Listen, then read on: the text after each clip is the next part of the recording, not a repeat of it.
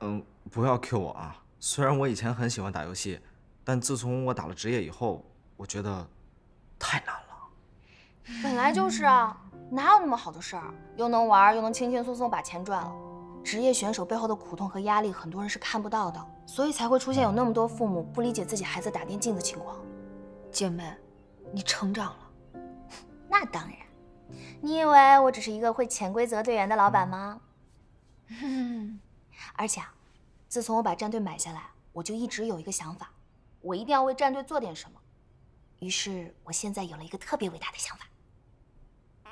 你不会是想把 ZGDX 也买下来吧，然后一同垫进去？我没有成哥那么有钱，我是打算给你和艾佳举办一个嘉年华。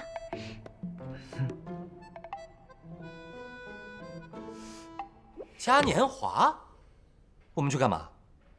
隔壁战队举行的活动，我们也要去。因为那是我和艾佳的母校，所以我必须要去。这不太好吧？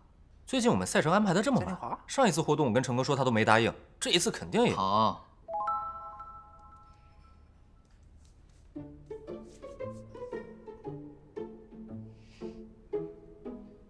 啊，嘉年华，小姐姐。你母校的食堂优秀吗？吃货，大学嘉年华，表演吗？二货，这是一个展现电竞魅力和生态的舞台。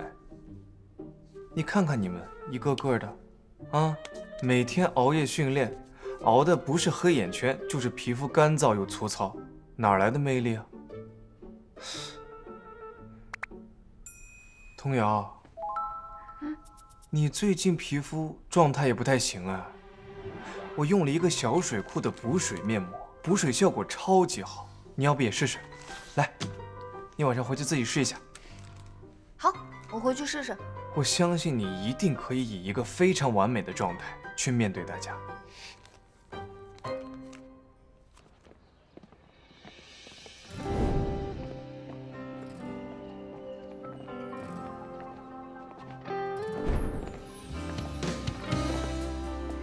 呢很荣幸的邀请到了两支知名的电竞战队，ZGDX 和 YQCB 的两名现役队员来到了今天我们的活动现场。那现在让我们用热烈的掌声欢迎 YQCB 的经理人陈金阳师姐、师哥艾佳、师姐童瑶入场。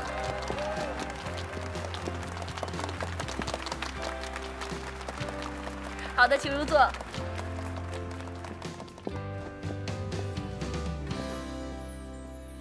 好，现在是我们的互动时间，有哪位同学想向师哥师姐提问的，可以举手示意啊。好，这位女同学，师姐你好，我想请问一下童瑶师姐，你喜欢上打游戏是因为游戏本身呢，还是因为你当时的男朋友啊？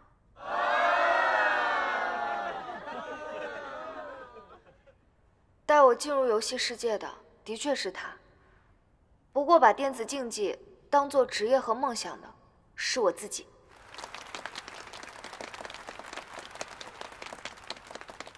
嗯，所以一段感情里，如果一个人喜欢打游戏，但是另外一个人却讨厌打游戏，那是不是就说明他们注定不能在一起了呢？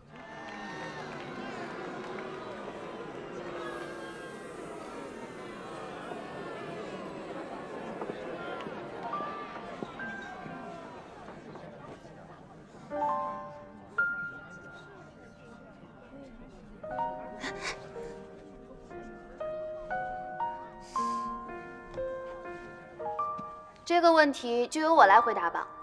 我相信这个世界上不会存在两个完全一模一样的人，特别是情侣之间。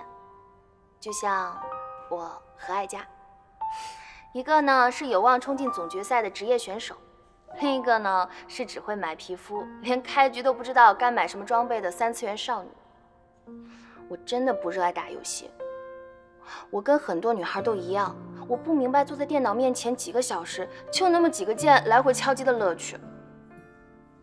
当然，我的事情，哀家也不懂。